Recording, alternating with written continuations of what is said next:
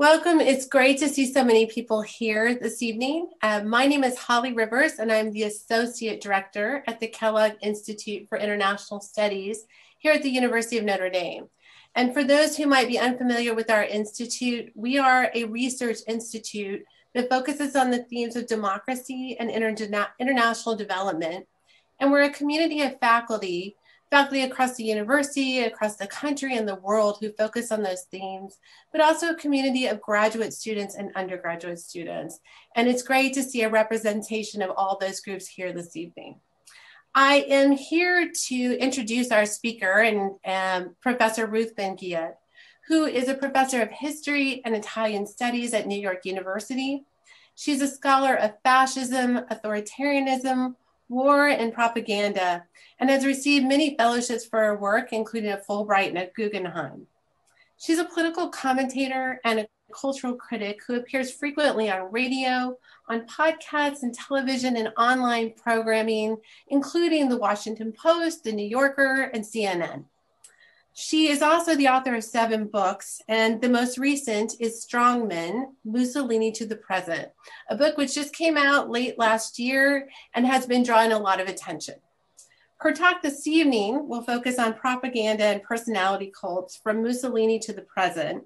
And I should note that it is co sponsored with the Nanovic Institute for European Studies and the Center for Italian Studies at the university.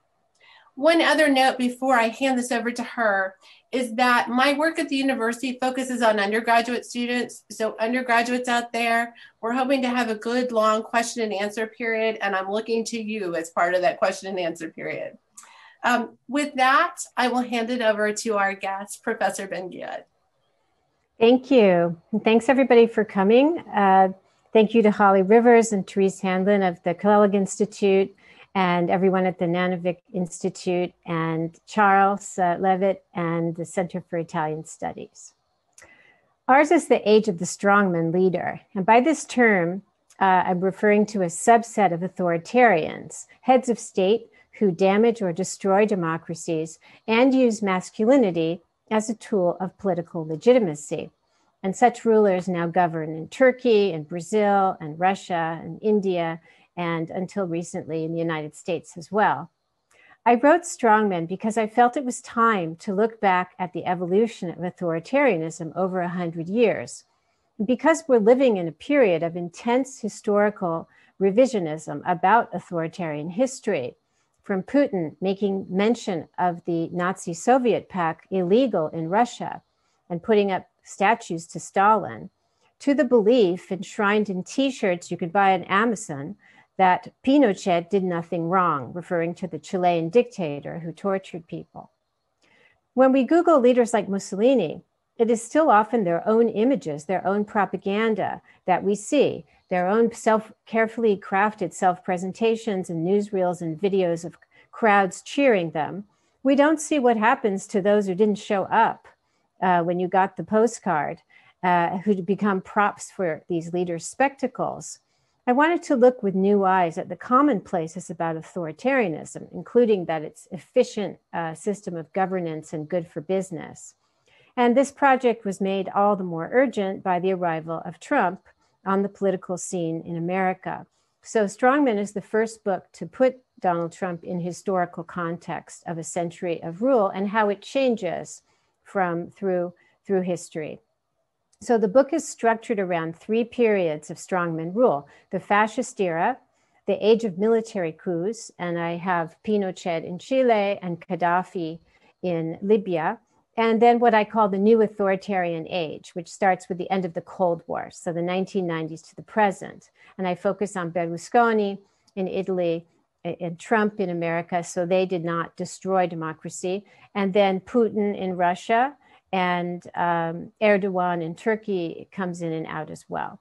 So there are three phases of history also how they rise, how they rule, and how they fall. And the core of the book is an examination of what I call the authoritarian playbook, their tools of rule. And each chapter is about a different tool, and it goes over 100 years. So, propaganda, corruption, machismo, the myth of national greatness, and violence. So the reader can take, for example, I'm going to talk about propaganda, see what has stayed the same over 100 years, like personality cults, and what has changed, obviously, from newsreels to up to Twitter and Instagram.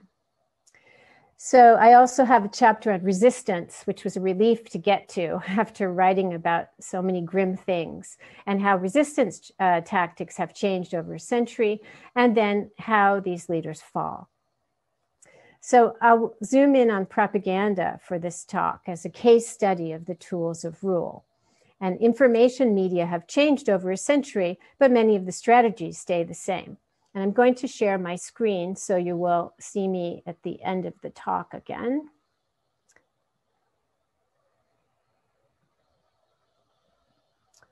Okay. This was just my first slide with, uh, this is a Proud Boys rally. So we have the Confederate flag and uh, this t-shirt, Pinochet did nothing wrong. Um, which, so you see that in today's, this is why I felt that a, a book that's a, of global scope is very important because this isn't just about American history. There is an entire um, history of the global right, right wing authoritarianism. And except for Gaddafi, and he's there because of his links to Berlusconi and Mussolini, um, most of the people in the book are right wing authoritarians. So this is important for the scope of what we're facing today in terms of threats to democracy. So, for 100 years, authoritarian leaders have invested in propaganda to convince people to believe their lies, to participate in their corruption, and accept their racism and violence as normal and necessary. And one interesting thing I found is I, of course, I knew Mussolini was a journalist, but many strongmen, the ones who did well, came to power with experience in mass communication. So Mobutu Sese Seko in the Congo, who's also in my book, he, ha- he was a professional journalist. Berlusconi, of course, had television networks, and Trump had experience with marketing and television. Now, personality cults are key to the success of uh, authoritarian propaganda. They're very crucial. And early modern French and English monarchs encouraged the idea they had special powers, known as the healing touch personality cults are different. They, they are, I'm looking at 20, 20th century cults depend on uh, mass media and mass mobilization and mass surveillance. So the leader can seem omnipresent as well as possessed of magical properties. And it's very interesting that that, that 20th century and 21st century personality cults, uh, something remains of this idea of the leader having a special special powers and his body is special. These cults also share an important quality of celebrity. The object of desire must seem accessible, but also remote and untouchable. He's a man of the people, and an everyman, but he's also a superman. And many of them are said to uh, or say that they are ruling by divine will. So here we have a billboard uh, in Libya um, and this says, uh, with you, we um, embrace glory. And so it's important that it's the voice of the people. So Gaddafi always said he was in power by the will of the people, but he's looking to the heavens to receive divine inspiration. And this is important. And um, most of these strongmen uh, are embraced by religious institutions that uh, accord them a kind of divine mandate to rule. And that's been, that's been a, a through line in personality cults. And here we have Trump has had support of evangelical Christians and also Orthodox Jews, both of whom believe that he was placed in rule uh, in office uh, by divine mandate to save the country. At its core, propaganda is a set of communication strategies designed to sow confusion and uncertainty discourage critical thinking, and persuade people that reality is what the leader says it is. Over a century, the strategies have stayed the same, even as information mediums have changed. From Mussolini's use of newsreels to Trump's and Bolsonaro's use of Twitter, authoritarians have had direct communications channels with the public, and this is very important for building their personality cult. that it's an unmediated channel, unmediated channel for their voice to reach the people. And so they pose as authentic interpreters of the popular will. Rallies, of course, have also been a favored means of contact, but rulers use radio, newsreels, television, now social media to help them maintain their charismatic authority and turn politics into an aesthetic experience with them as the stars.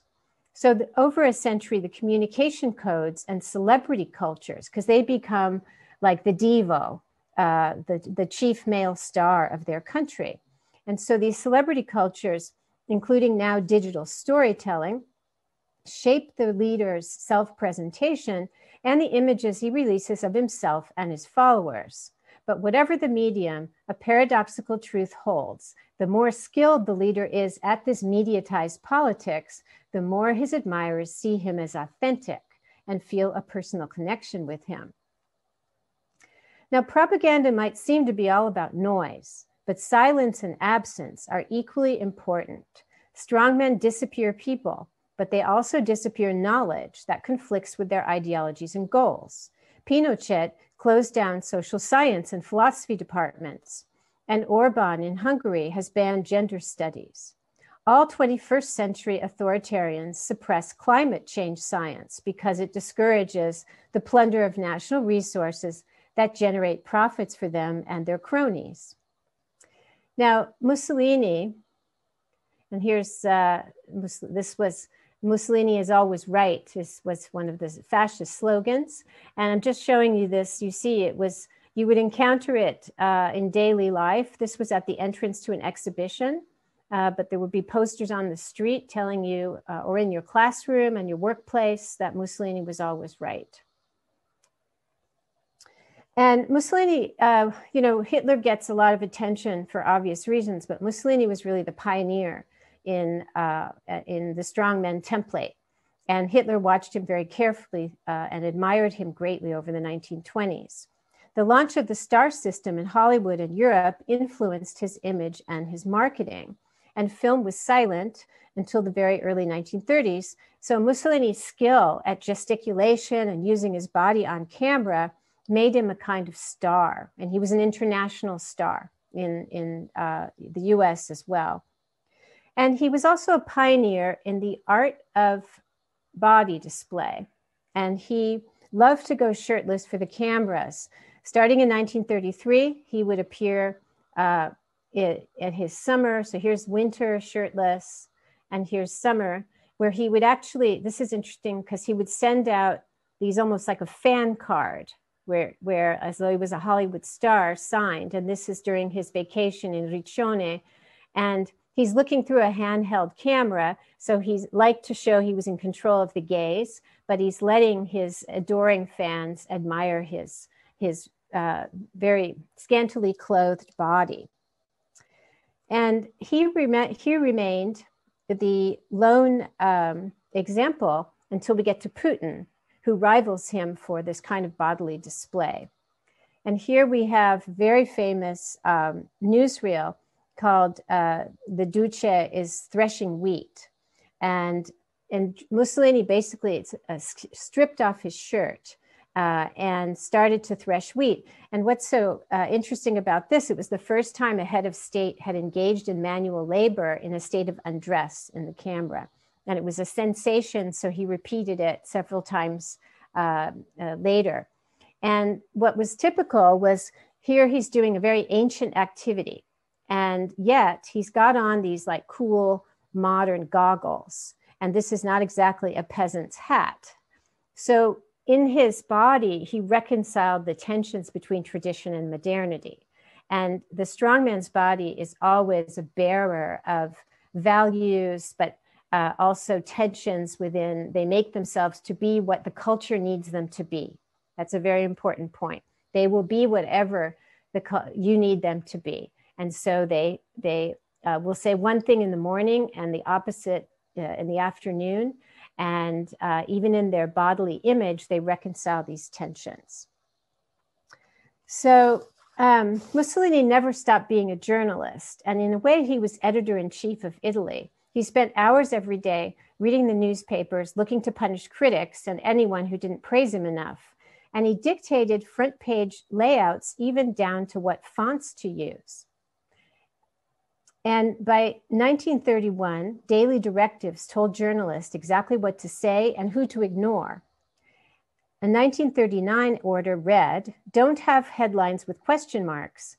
And that's very interesting. You were never supposed to have a question mark in a newspaper headline because you have to lock down meaning. The strong, the strongmen state in the fascist era in the 20th century should never leave room for doubt. And if we look at uh, Hitler, he had some advantages over Mussolini uh, because he had no pope inside. He had no king with independent messaging uh, operations. Germany was also had a much higher literacy rate and more newspapers, uh, way more newspapers than Italy. And above all, Hitler had Goebbels, and Mussolini didn't. He was so savvy on his own, he didn't have a Goebbels figure, but Hitler had Goebbels, who drew on advertising techniques such as repetition and crowd psychology. Um, and the Nazis used radio very uh, effectively to uh, build the Hitler cult, as, where, as well as rituals, as we know, like the Hitler salute. And Hitler's voice um, was, uh, you know, it, he used it in a very uh, unique manner. It was so laden with emotions, it stilled thought. And people thought that he was saying what they didn't even know they longed to express. So the, the public performance of these um, strongmen is very, very important. And Hitler, like all of them, he worked very hard on his charisma. So, this idea that they have a natural charisma is uh, not always right. They work very hard at seducing and manipulating the public. So, this is 1920s when uh, Hitler was trying to get to power and he was very frustrated because he couldn't get to power like his idol Mussolini. He took hypnotism lessons, he took voice lessons from actors, and he practiced his gestures, which uh, owe something to Weimar expressionist cinema in the mirror. And that's a very interesting series of photographs by Heinrich Hoffmann, Hoffmann who became his official photographer. Uh, you can find them easily uh, if you Google, where he is practicing these theatrical gestures that made him famous. So we'll move to 21st century. And um, it's interesting to see what changes and what stays the same. So, 21st century authoritarians mix rallies and censorship and personality cults, so things from the past, with social media to create the news they need to stay in office. Now, holding elections, because now you come in through elections and you manipulate elections to stay in power. Uh, military coups are less common today. So they have to hold elections, and it's not as cool to have mass force violence in public on your people. So they're more dependent than ever on the manipulation of information. So, of course, they still silence and kill critics, but they also flood the media space with noise and confusion, drowning out messages that may threaten their power. And many of them leave, as Putin and especially Orban, uh, they leave a pocket of opposition, but they have to create confusion and they use smear campaigns and they use disinformation. And so this is one way propaganda has changed. So Mussolini censored, banned question marks in headlines, right, to lock down the meaning. The Putin playbook, the political warfare and information warfare playbook that Trump also uses, it creates question marks around everything. And so this is, we can talk about this in the question and answer this is one of the goals of modern, our contemporary disinformation and conspiracy theories. They become part of governing policy for propagandists. So Berlusconi was somewhat of a pioneer here. Um, he had more influence over public opinion than anyone since Mussolini because he owned television networks and advertising uh, companies. He had a media empire. Um, and we sometimes forget this. He hasn't been in power since 2011 but um, he owned commercial television networks that commanded a majority of broadcast audiences in a country where by 2007 when he was in power he wasn't when he was around when he was in power 87% of Italians got their information from television, so he had a huge influence. He also brought the personality cult into the new age. He evoked Il Duce very consciously with slogans. Uh, the slogan in fascist years was thank goodness for Mussolini, and his was thank goodness for Silvio. And so he did very well uh, being a business tycoon and a sports uh, team owner, this combination of everyman and superman. And this is the secret of personality cults. So Italy was so saturated with this image that a woman interviewed in the early 2000s by Italian psychologists studying dementia could no longer recognize her family's face, but knew Berlusconi's, along with those of Jesus Christ and the Pope. So Berlusconi laid down a formula for um, authoritarian executive rule in a democracy. And he remade politi- Italian political culture. He brought the far right into government. He detained migrants.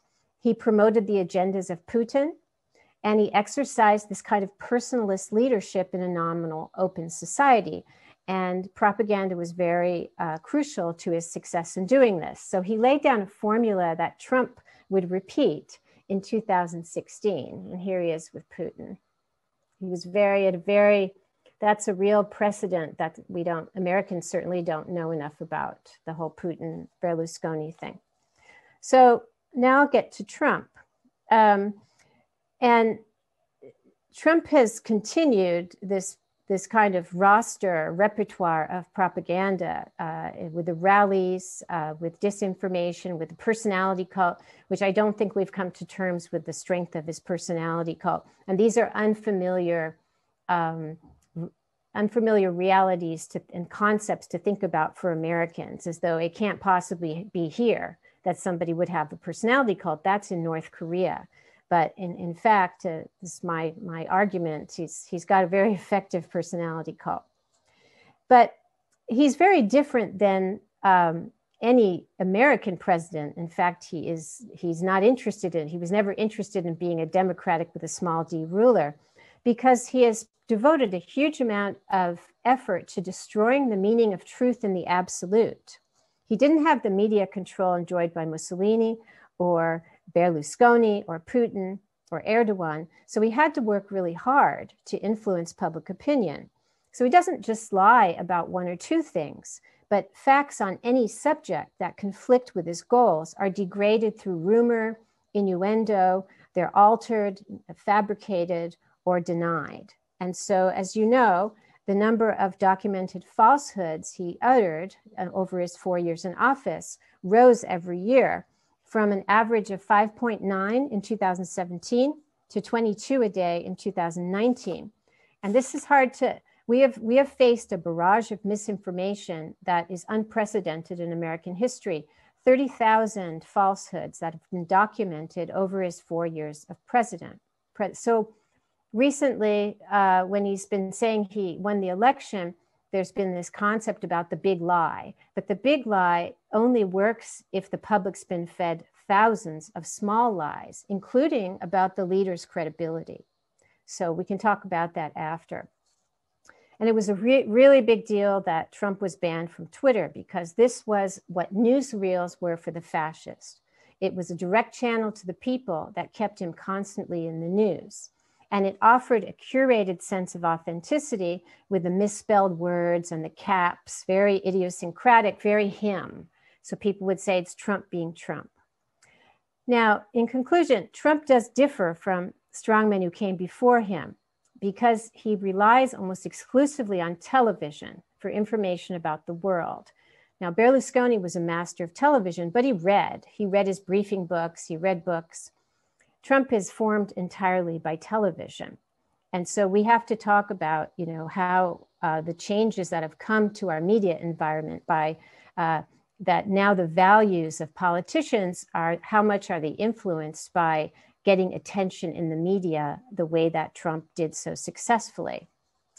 So I just want to conclude um, that we, as time, uh, as his rule recedes, we will appreciate more what a skilled propagandist he was. And in fact, he surrounded himself with people like Roger Stone, who have decades of experience in psychological warfare, who worked for dictators. He worked for Roger Stone and Paul Manafort worked for Ferdinand Marcos. They worked for Mobutu.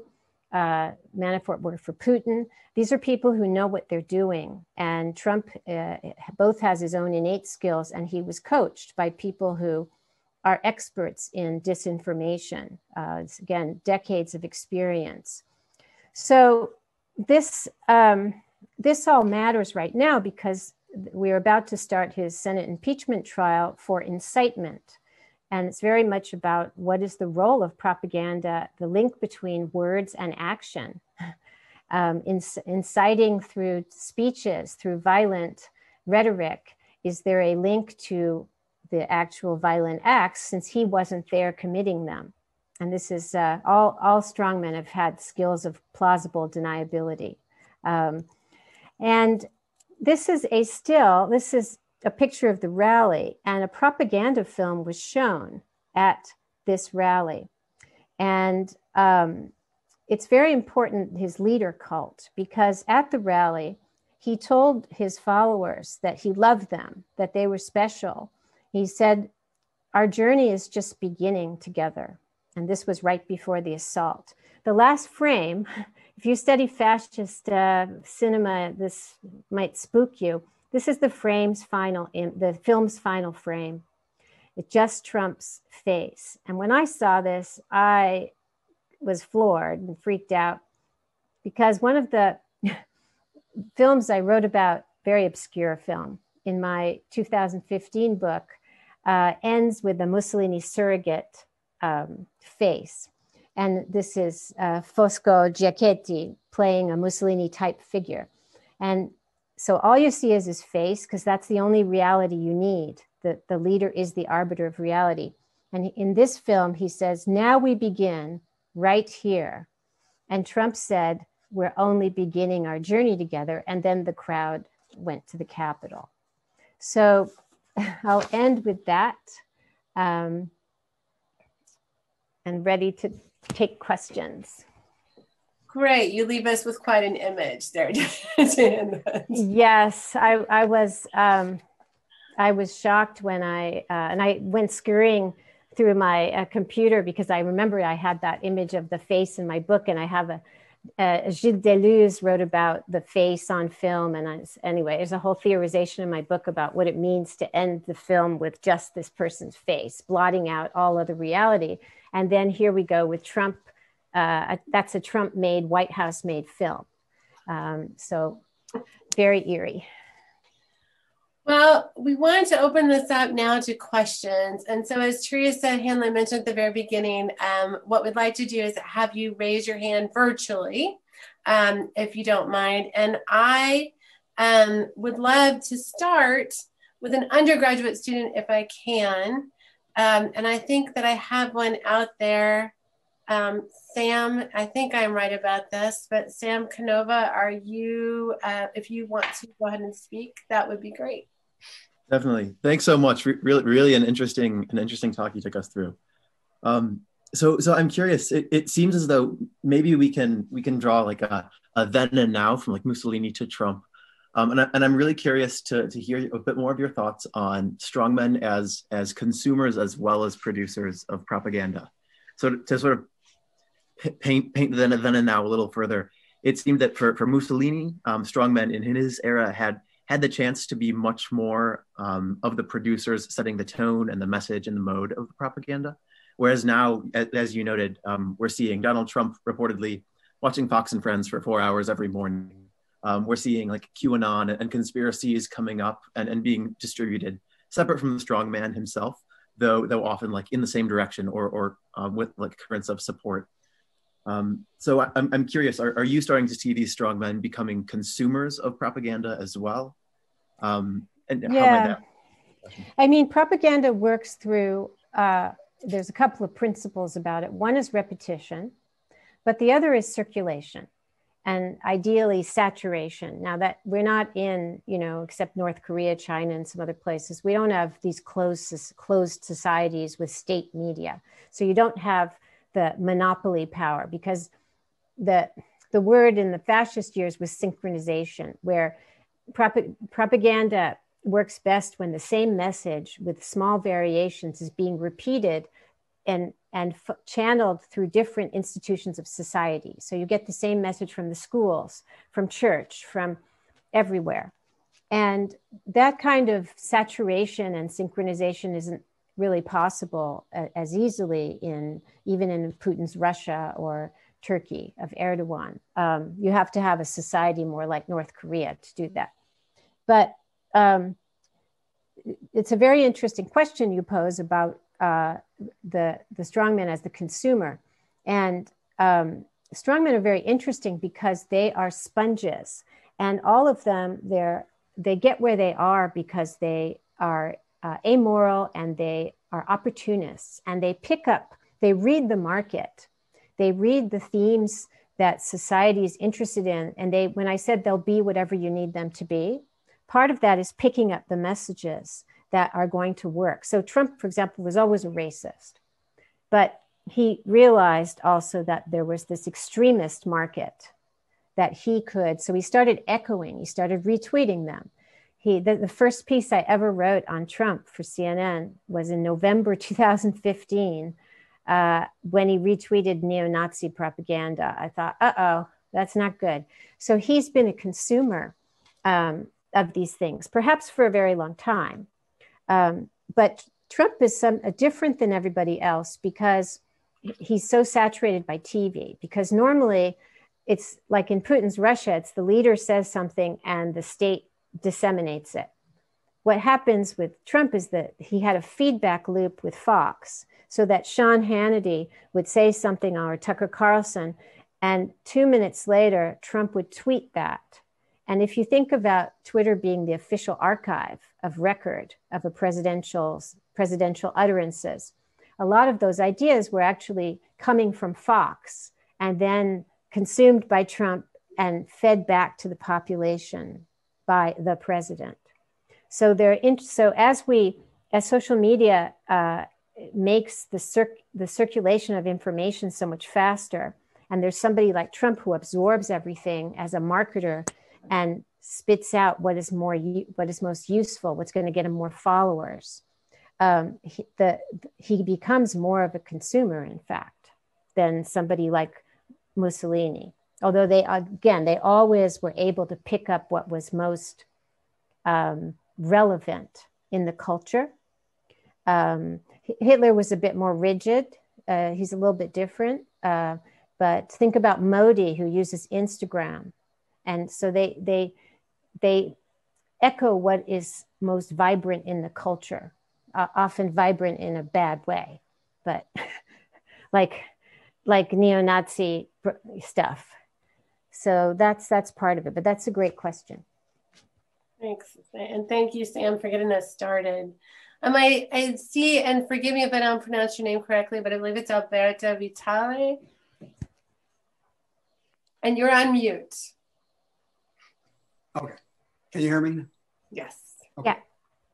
Yeah. Um, my question is a, a, a double sword, a double-edged sword. Actually, I know from my little uh, reading that I have of uh, uh, Benito, um, I do know that uh, one of the things that he did was to uh, uh, set up a situation where we, he became a, a godlike presence. And um, one of the things that he knew that he had to do was to um, at least uh, provide some some positive things for the Italians at the time. One of which had to do with um, I know that when he marched into um, I'm not I don't remember if it was Milan or Rome, but when he he and his uh, brown shirts marched into uh, power, that one of the things that he professed was that he was going to uh, in Italian, it roughly, or in, in, English, it roughly translates into, I'm going to drain the swamp which was to drain the Pontine, uh, Pontine, Pontine marshes in Rome. So he apparently did that because uh, you know the infestation of mosquitoes and so on and so forth was a was a scourge on the Italians. and then he um, then he also uh, said that he was going to um, uh, make the trains run on time. So he did do that. So all of a sudden, the Italians thought, well, this guy can do some really positive things. Um, one of the things that I'm curious about, though, is once that a person like him gains power, um, it appears that uh, getting rid of these uh, these this whole cult and the and the person that leads the cult is almost impossible to remove, and usually it ends up in some kind of a violence act. Uh, Mussolini, for example, um, with the uh, uh, the troops, the Allied troops coming in, into uh, uh, Italy, and also uh, Benito Mussolini having been hanged hanged in the public square and so on and so forth for the public to see. Um, I wonder uh, if uh, if our lecturer uh, can can give us a hint as to how she sees what's going to happen next in the America, because I don't know how how uh, in, in, in American uh, democracy that we have, such as the one we have, I know this is a long question, but in, in our in our situation, uh, uh how does our lecturer see this going forward? How, how is this going to end, in her opinion, or how will how will we be able to get rid of this if if that's the uh, desire of the American? Um, so the book, the interest, the most interesting chapter, um, you, you, would like the book if you read it because I address the draining the swamps business, um, and the trains run on time business. And I'll just say one thing about that because the trains run on time is only possible because you have um, you have propaganda and you have censorship because um, uh, no one was allowed to know what the real uh, modernity of the trains was, what the real efficiency of the trains was because of censorship. Uh, you weren't allowed to publish notice of late trains. Of there were no strikes allowed. There were no works work shutdowns. Um, all of this, no accidents. That was actually an official category prohibited dimension was train accidents. So um, there's that. But the yes so i had to turn in my book in the summer of 2020 i had time to include the black lives matter protests and the state's reaction to them with lafayette square. And the last thing i said about trump is that he's not going to leave quietly that he will do everything to stay in office because i didn't know what would happen but i was very sure about that. And so when january 6th happened and it wasn't just january 6th it was it's very interesting because what he did uh, after he wouldn't accept the results, he actually drew from all of the eras of authoritarian history. Uh, first, he thought about the military, you know, and then General Milley, the chairman of the Joint Chiefs of Staff, shut that down. So that was the age of military coups. And then electoral manipulation, he tried that for months. And that's what people like Putin and Erdogan do today. So none of it worked. And then he did the nuclear option, which is very similar to early fascism, where you have the, the leader is the victim and they come to rescue you. And that was January 6th. So I think that it's very important to come to terms with the strength of Trump's personality cult, because uh, in the same way that the Senate refused to uh, convict him last time, um, and it's very sad that um, uh, a, Democratic Senator, Sherrod Brown, interviewed his colleagues last year, and they told him that they acquitted uh, Trump because they were afraid. So we have an authority, the GOP is an authoritarian uh, political culture at this point. It's really, it's a far right party, and there's very interesting comparative study, comparative politics studies now.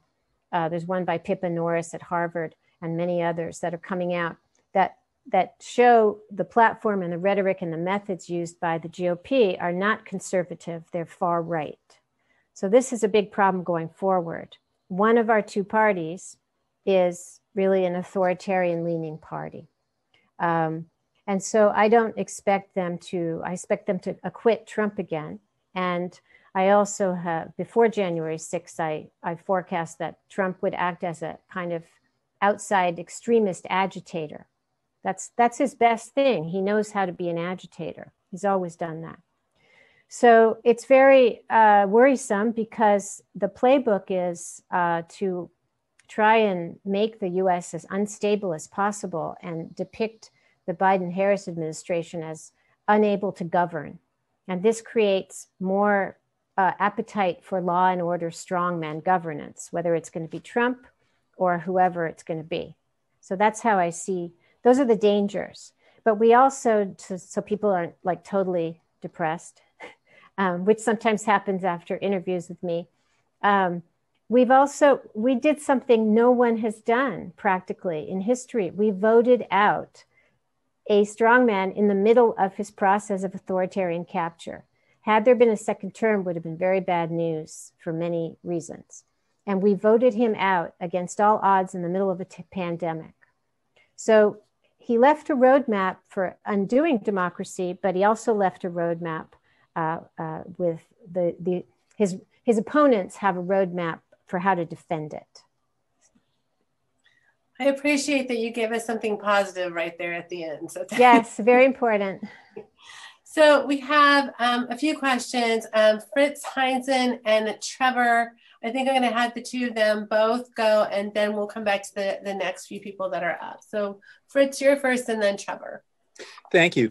And, and thank you for a very interesting talk. If nothing else, you've got a sale of a book today. I'm, I'm actually rather interested in seeing it because the fact that you're moving across such a broad sweep of time, well, even, even though it's just 100 years, there are plenty of interesting case studies that you're mentioning. And um, as a historian, I'm, I'm more familiar with Hitler, Mussolini, and so on. I'm a European historian. And, and lately, I've been reading Peter Pomerantsev yeah. And in fact, I've even done a seminar with him to try to catch up on the more modern yeah. Putin, especially. And and so I'm sort of curious if you have any th- thoughts on Peter Pomerantsev, but that's that's not my main my main question is is this along these lines. I'm maybe detecting there's something similar to most of these strongmen. And don't their egos eventually overwhelm their competence at managing their propaganda? They they turn on their own advisors, propaganda eventually becomes so ham handed. And yet, in the end, and this is what I'm wondering if most of these strongmen eventually believe their propaganda, because it seems like they all they become very dysfunctional. They lose their wars. They they, mm-hmm. they are mm-hmm. thrown out. So I'm just curious about that. And then just very very quickly, of you know, a sentence or two. Are you going to update this book? Mm-hmm. And and then last and not least, are you going to add maybe possibly some from the left? Because there's some very interesting authoritarian leaders from the left. And I'm, uh, I would be curious if you see differences from those on the right. Thank um, you. That's great. And your background, by the way, is amazing. Um, your virtual background. Um, so I, did, I chose not to um, put uh, left wing uh, strongmen in there except for Gaddafi because I chose people who have a connection uh, among each other. And I wanted to show through lines between, for example, fascists. And then when the fascists died, neo fascists and Nazis went to Franco Spain, and then they went to Pinochet's Chile. So I wanted to show these things. Um, also, I had to delineate this somehow, or else it becomes like a, an encyclopedia. Um, so there's that. Um, there will be an update of the book because it's sold out on Amazon, so there's a reprint, but there's going to be a paperback early uh, coming, I think, uh, in the fall. And I will be able to bring it up to today. So I'm happy about that. There'll be an epilogue, basically. So your question is very interesting. I was um, I was shocked to see how similar um, across space and time the governance structures uh, very dysfunctional governance structures established by these types of rulers are, because all of them create these inner circles around themselves that are filled with sycophants and flatterers and family members, right? There's a whole paragraph in my book about sons in law. Uh, and family, of course, will conspire with you. You can trust them.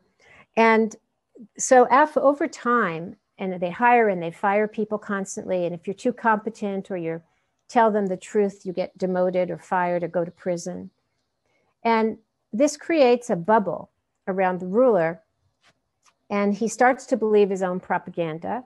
He, his worst impulses is hubris, his myth of being um, competent at everything. You know how Trump says, I can master nuclear policy in five minutes. Um, Mussolini was the same, and Mussolini always occupied five different, at least five ministries, as well as being head of state. Most famously, when he went into World War II against the advice of all his generals, because Italy wasn't ready, uh, he was Minister of War, uh, Air Force, Navy. You know, he was he was overextended, and so they make bad decisions, and they think that they're infallible. And so the psychology of the strongman, I don't get in, I don't use psychological terms, but the psychology and the personality traits of the strongman, and this was, they're all the same. They all do the same things. Even uh, those who had a reputation for being unflappable, like Pinochet, because he's a military general. He, he had constant reshufflings of his cabinet. He had a huge anger problem. He'd hire and fire people at the slightest whim. So he had his son-in-law was in charge of privatization. It, it, they're all the same. So when Trump came, and the, the news stories start to come out about him acting in the same way, this was just like, okay, I've seen this before, and it doesn't end well. So this is, you know, this is this is what what you see, and it's never good for the nation. Thank you. Trevor, I think we had a hint that you were out there a moment ago. So Trevor is one of our undergraduate students. You're next. Uh, thank you very much for the, for the, for the interesting talk. I have two quick questions. Uh, so where, where I come from, uh, propaganda actually has no uh, value attached to it. Whether you're in opposition or a government, everybody is taking a set of information or facts, if you will, uh, and communicating them how they wish to elicit a certain kind of response from the populace, their constituents. Uh, and that happens both with the uh, regimes that could be classified as democratic, opposition political parties that are, you know, pushing against uh, autocratic regimes. So I was just wondering uh, when propaganda becomes bad, because if uh, politics, you know, thought, thinking of it, especially in electoral regimes, autocratic, democratic, if you think of politics as a game of numbers, everyone is trying to tune information in a certain direction. Uh, so I'm just wondering when, at least in, in, in the work you've done, that turns into uh, a bad thing. And then the other question is, uh, I wonder if uh, there is an attempt to read the authoritarian figures you look at within a, a historical context, uh, in the sense that is, is it possible that their authoritarian actions are necessitated by the stage of development, advancement at which the societies in which they are find themselves, and that uh, the only way, probably, for example, to hold a country together. I mean, there are several instances across uh, across the world. The only way to hold a country together, for example, in Rwanda, you have to, uh, you know, tighten a bit in, in, in a country as diverse as mine in Uganda, we've had the Museveni for several years, and I think uh, he fits this uh, the, the handbook of authoritarians pretty well.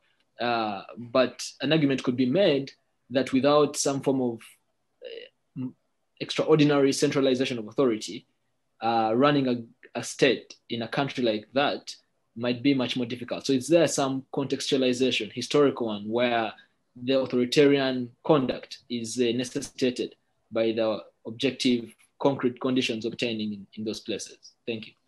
Those are excellent uh, questions.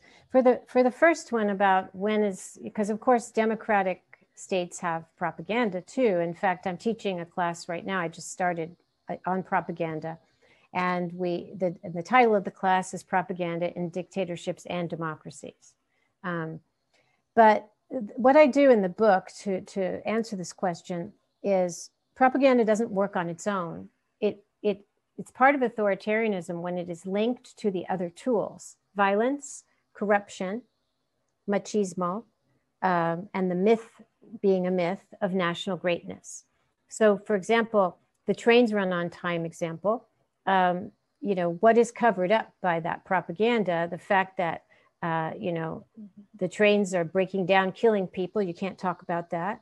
You're inflating the efficiency to make Mussolini seem like he's efficient. And this connects a little bit to your second question that this, and often that's, there are times in which uh, uh, there is indeed um, a chaos and uh, fragmentation and perhaps a centralization is needed, but it doesn't have to be. Um, I personally never think that uh, repression, um, you know, institutionalized lying and repression and torture and mass imprisonment uh, are part have to be part of that. If you're well intentioned, if you want good government, you might have to centralize more, but you don't have to lock up and kill um, opponents or commit genocide or uh, any of the other things that have happened with authoritarians over the years. So, what I do in the book is show how the tools are connected. Um, so, the myth of this efficient um, man is connected very much to the corruption because he becomes the man who gets away with everything, uh, draining the swamps he's going to clean up Italy, for example, like Trump said he's going to drain the swamp, uh, which was a cover for, you know, that, he, that he's an anti globalist. Well, Trump is the most globalist person ever. All of them are. So with Putin, all the leaders who talk about anti globalism and like America first, Russia first, they're all depending on either offshore finance or, in Trump's case, foreign banks. Um, Erdogan's in debt up to his nose in foreign banks. So this is all hypocrisy. So that's why uh, each tool uh, can't be seen as in its full scope on its own. It has to be connected to the others. There are two people out there who've been incredibly patient. So Laura Jury is the next one, and then Peter Kostya, who I'm guessing is the father of one of my former students. So Laura, you're you're up first. Hi there. Thank you for your presentation. Um, I have a, a couple of quick points, one more central than the other. Um, the first was to say that I was really interested in the detail you included regarding uh, the strongman's background in the media. And I was wondering to what extent you would apply this term to a person like Boris Johnson. Um, and I would connect this also in a way to my second, a more major point, which is that um, something I've noticed among leaders such as um, leaders I would contemporarily associate with this strongman Tim is a, a failure to serve uh, their citizens in terms of the pandemic uh, and very high death rates. Um, and so I wondered, in a way, expanding upon an earlier question, um, how you see the election of Biden and Harris in relation to an international on, on an international level in terms of its international impact. Um, when Trump was elected, we talked a lot. We talked a lot about the election in relation to Brexit and um, this kind of global shift to the right. And I wondered, is it too simplistic to kind of prophesize about maybe a, a slight shift towards maybe the center and the left again. Um, and just by comparison with leaders, specifically female leaders, who've been more successful in dealing with and managing this crisis? Um, okay, you have a lot of, you have three large questions. So I think without a doubt, uh, Boris Johnson's facility with the media he's also an exhibit A of this faux pop, I call it faux populism, where he, you know, he's disheveled and and he's he's very he comes he was a journalist. In fact, he um, he was one of the people who re, who revived with Nicholas Farrell, a right wing uh, hagiographer of Mussolini, this business of the trains running on time. And it was to Boris Johnson that Silvio Berlusconi gave a famous interview saying that, quote, Mussolini never killed anyone. He just sent people to holiday camps, like referring to because the, the fascists used islands like Ponza, uh, Ustica, uh, and they were horrible places where torture was practiced. But so Johnson knows what he's doing. Um, and he's, you know, he's been able to kind of, this is the same, this tension. He's very posh, but he, he, he's populist and he's posh and somehow it's all in the mix. Um, so, um, you know, the pandemic shut down something very important. Uh, there was um, civil resistance, mass public protest on a global scale in 2019 from Chile to Hong Kong, uh, all over many, many places in the world. A whole new generation of people came out to the streets. Uh, in Chile, they were the biggest protests since the, the, the Pinochet years. And this is, uh, these energies are not going away. Um, they're, they're sheltering at home, they're in lockdown in some ways. But that's important. We, it's easy to forget about that. Um, and look, look at the Black Lives Matter protests in our country, um, where uh, these were protests that were multiracial, they were multi generational. So this this is evidence of, of a, a, desire for social justice that's very, very strong. And I think that people know that the stakes are higher uh, all over the world now because of the success of the global right. Um, and because some of them have been in long in power long enough, even Bolsonaro came in 2019, but he's been so destructive.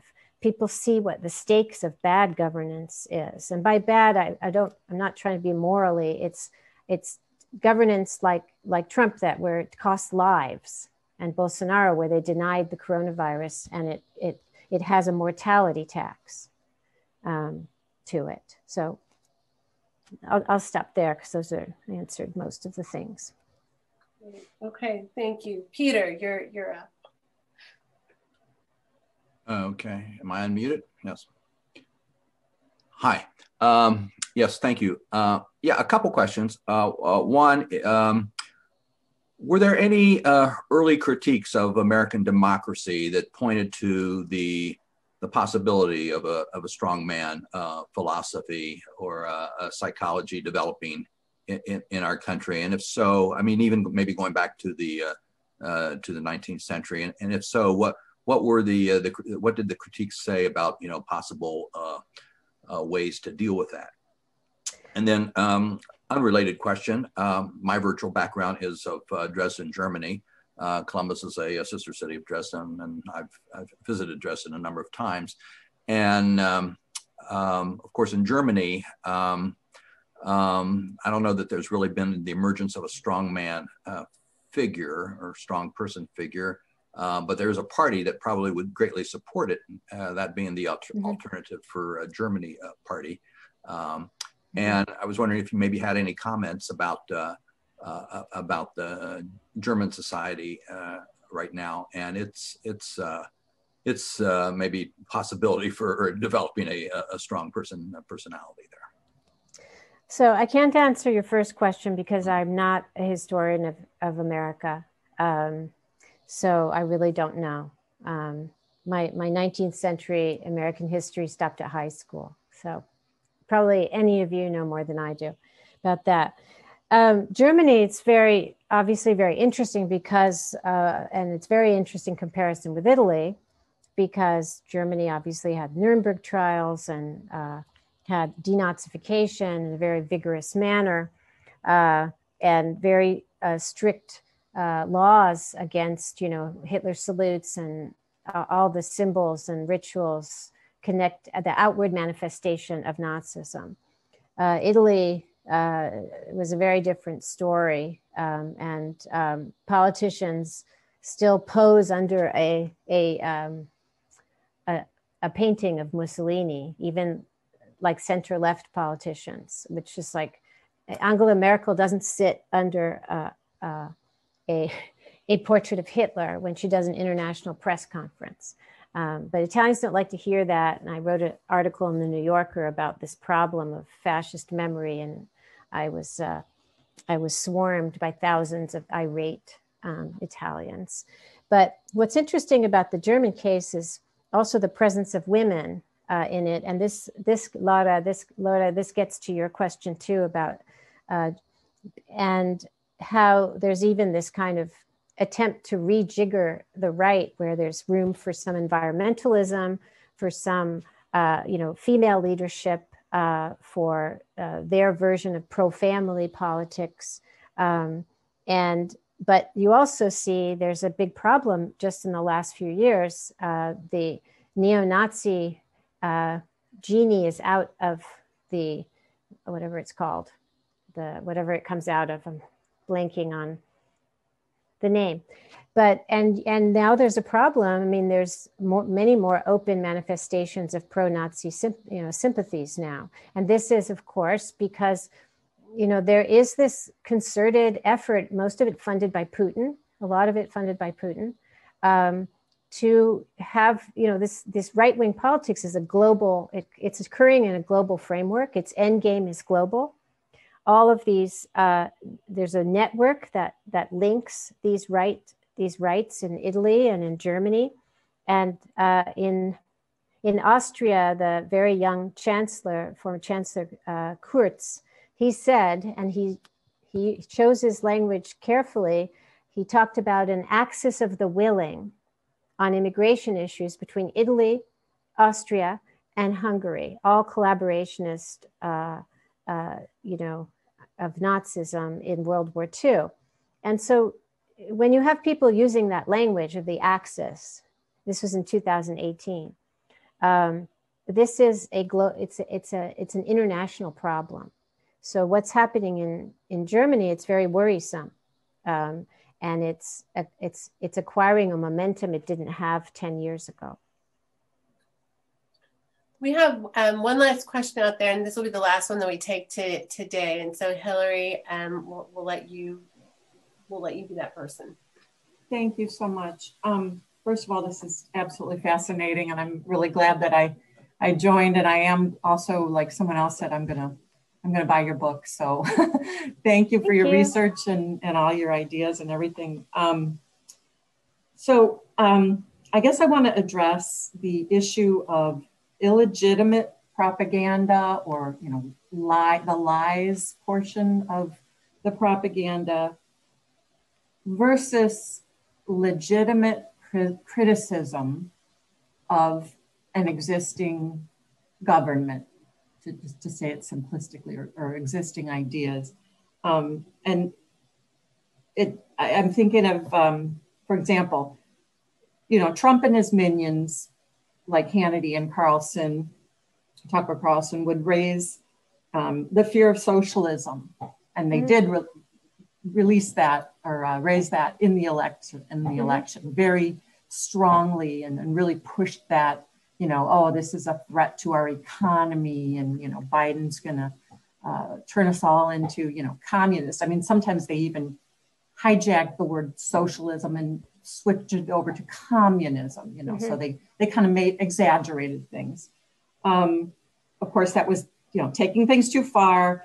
Um, but as as people that I know, such as family members, would say, there certainly is at least a grain of truth to the argument that some of these policies that are being proposed by you know biden and the left in american politics um, you know are somewhat socialism um, such as for example like the $15 minimum raise wage raise um, proposal.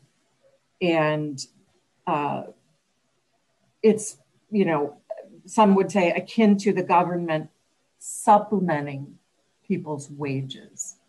Um, my question is do proposals such as the minimum wage raise do they help perpetuate the narrative of we must fear the opposition um, and, uh, you know, do we Americans need to be careful not to make, you know, drastic changes to the left as a reaction to the far right proposals that we all are horrified by and want to get rid of, you know, uh, in our in our society.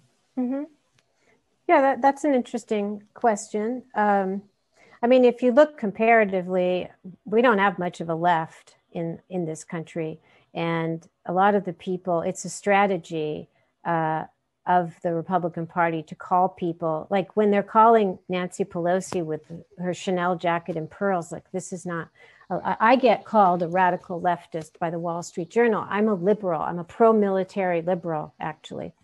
I have nothing to do with the radical. So this is this is part of what you were saying. This is uh, this. It was very effective uh, to scare people. These are scare tactics and polarization. Uh, is what strongmen and authoritarians need because you have to beat each other's throats. And the way you do that is to label anything that is threatening to you as left. And so that what, what you can't have is a middle. So where is the center? Where, and it could be liberals, it could be uh, progressives, but even progressives are not the left necessarily.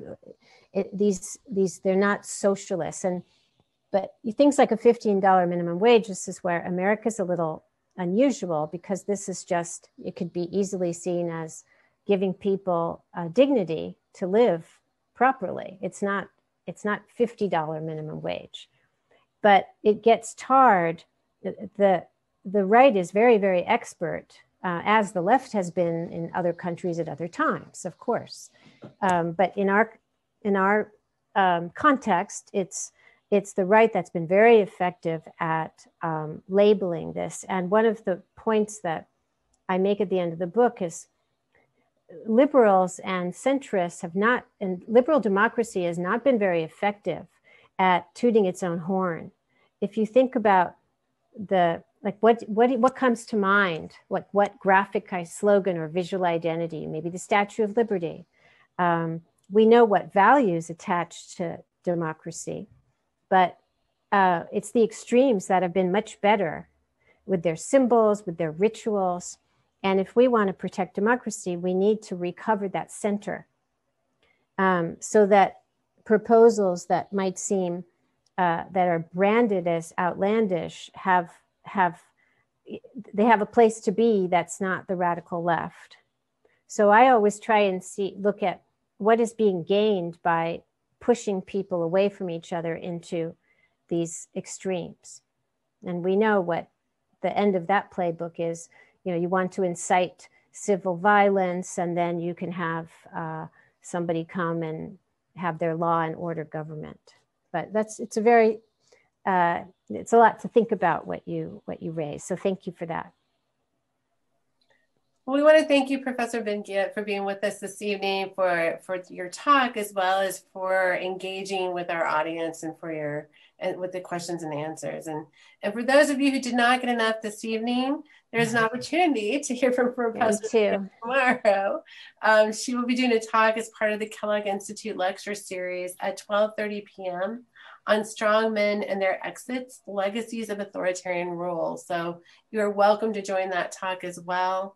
And we uh, very much appreciate seeing all of you this evening. So thank you. Thank you so much.